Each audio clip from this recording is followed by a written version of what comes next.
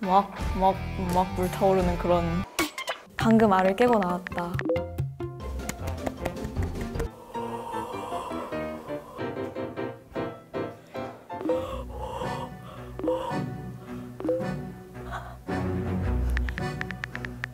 억울했습니다. 너무너무 긴장된 나머지.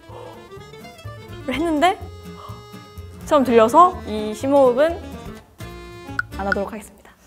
빨간 불빛님이 의심스러웠거든요. 선배님 같은 말투셨어요.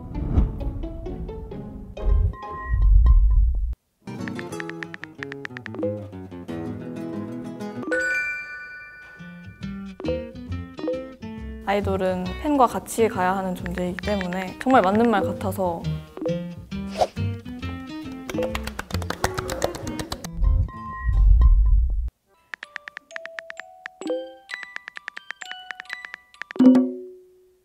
지금 이 영상을 보고 있는 학생분들 주위에 뭔가 예사롭지 않은 친구들이 있을 거거든요. 될 수도 있어요. 왜냐? 그게 저였거든요. 저도 연습 진짜 열심히 하거든요. 아차 드러냈었어야 되지 않았나. 혼자만 여유로우셨어요. 저희가 음악 방송이 끝나면 그 방송사 배경을 해서 사진을 찍어서 올리거든요. 빨간벽 다들 아시죠?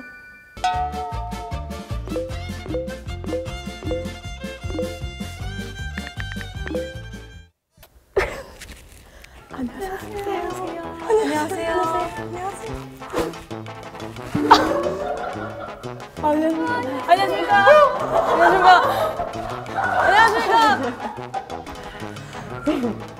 선배님 뭐, 뭐 오셨어요? 저는 수박이에요. 아, 진짜요?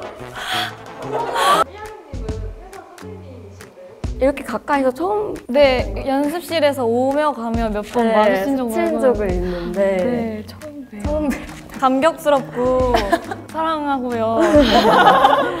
너무 잘 보고 있어요. 아, 감사합니다. 와.